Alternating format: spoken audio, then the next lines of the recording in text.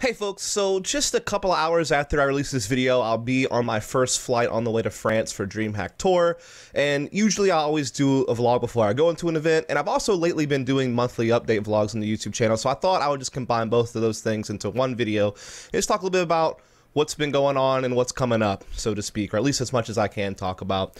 So obviously, I've just gotten back from DreamHack Austin, and I'm quickly on my way to my next DreamHack event. And just to kind of do a little bit of a recap for DreamHack Austin from just my perspective and mostly personal stuff, not really match results or things of that nature. I had a shit ton of fun working at DreamHack Austin. It's always great to get to meet new people as well as catch up with people from the community that maybe you don't get to see that often. It's almost like a family reunion in that regard. And I talk about that quite a lot because that is kind of what it is. I mean, you interact with these people online all the time, and you know, for me who who doesn't go to that many events, it's really cool to get to run across folks at events like this one, which I did.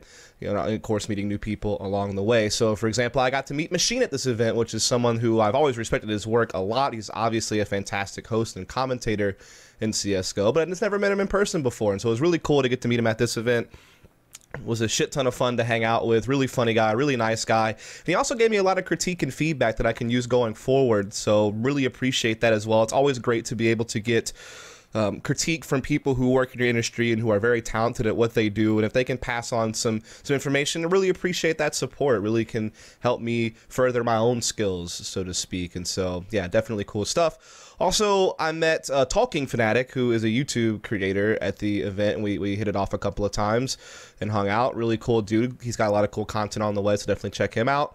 And that's about it as far as new people goes, I guess. I met a lot of people I had met in the past, but it had been quite some time since I've seen them. You know, for instance, someone like Days, I hadn't seen him since ESCA lands, I don't think, in person.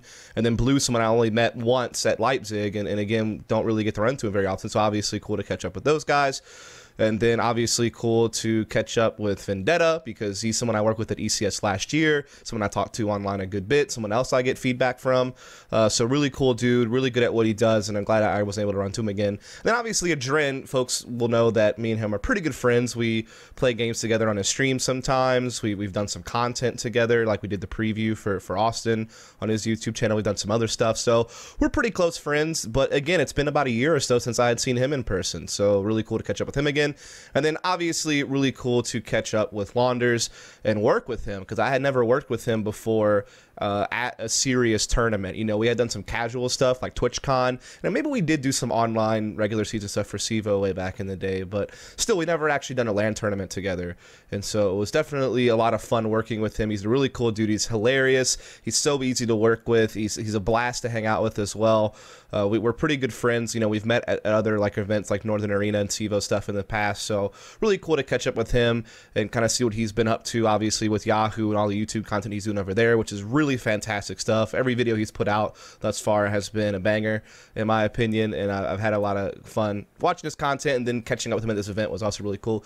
Also met a lot of people just out in the community that just happened to be there. Like uh, Ryu was there, the owner of Selfless, he was there hanging out. Stunna was there, you know, a guy who works with Esports Arena now, but obviously formerly did, you know, CSGO management and team management for Cloud9 and as well as Complexity. Kind of followed that team between those two organizations. So people will know him. He does really cool content with Esports. He did that Moses documentary. He does uh, the, guy, what is it called? Put Up or Shut Up show like the debate show with everyone. So yeah, he's doing a lot of cool stuff. and It was cool to catch up with him. And it was also cool. There was several other people. So if I forgot to mention them, sorry. But there was a lot of people I ran into, whether it be players or whether it be members of the community. And so it was really a whole lot of fun. Is really the bottom line. And I'm glad I went. And uh, yeah, I mean, pretty much everything that came out of it on my end was positive, to be quite honest. And I know there was some negative feedback that came out of this event as well. And so I will address it just really quickly. Uh, first off, I will say that yes, I admit fully that the one map that that thread that really got high out there on Reddit came out, which was a nuke game that went into triple overtime between G2 and Gambit. I definitely did make some huge mistakes during that map. There's no doubt about it. You know, it was kind of a marathon day. We had already done one semifinal best of three where two of the maps had gone like almost all 30 rounds, and it was really long and my voice was going out. And when you're in a triple overtime like that, you know, it's, it's intense. Like the crowd's really amped, you know, the game's really intense. Like you feel like you go either way at that point. It's obviously important match is a semifinal. You know, it's a spot for the grand finals and one map advantage in the series. And also, you know, in that point, it feels like every little thing matters, and so everything feels exciting. And so I kind of lost my way with my pacing. I guess is the first thing to say is I kind of, you know, got up to too high of a level and I stayed there. And some of it was because I was afraid to vary my voice too much because I thought my voice would crack if I did because my voice was going out. So I kind of tried to just maintain a medium level, never really went too high, never really dropped down too low. And, and, and like I said, when it got all intense and in the heat of the moment, I just kind of got wrapped up in it. And so some of the chemistry kind of broke down as well with Launders, which is on me. Um, I thought he did a fantastic job throughout the event. He did everything he was supposed to do.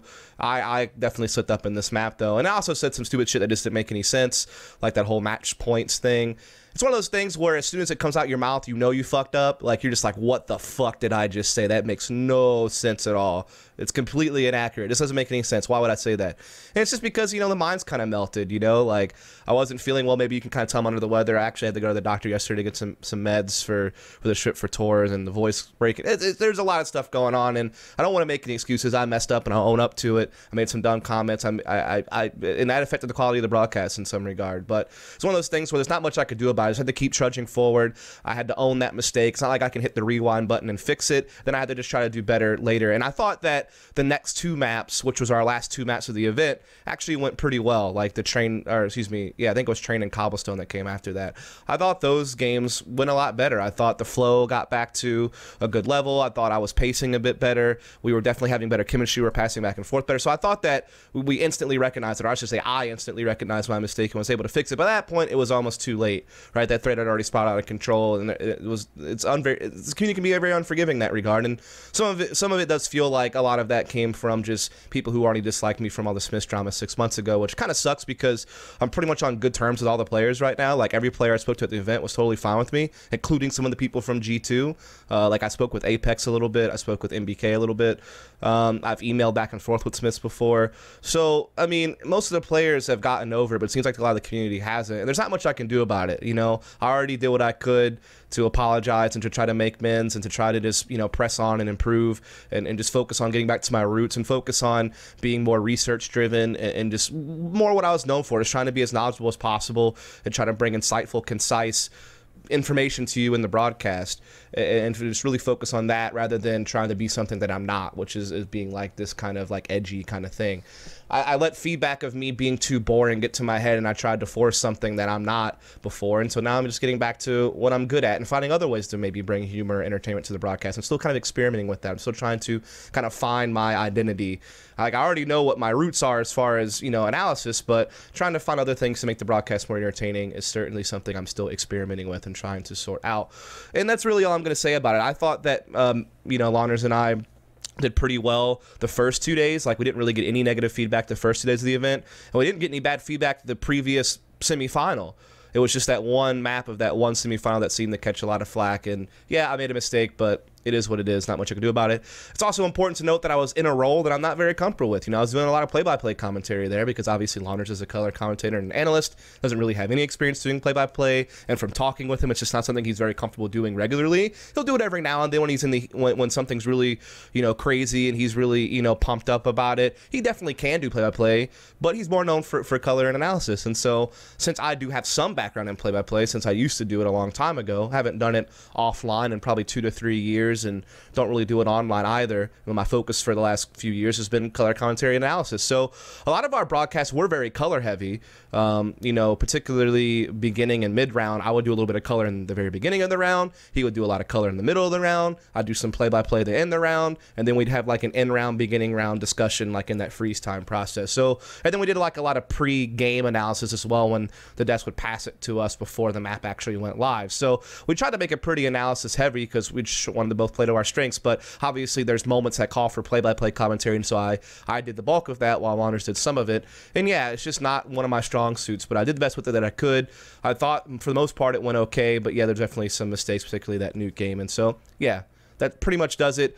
When I go over the DreamHack Tours, which is where I'm headed now, I'll be paired up with Metuz, which will be great because he's obviously a fantastic play-by-play commentator. And I will be able to get back to my role of doing color commentary, something that I'm more comfortable with. And so I think that it should go a lot smoother. Our chemistry is pretty good. We've worked together at DreamHack Leipzig. We've worked together for DreamHack qualifiers online.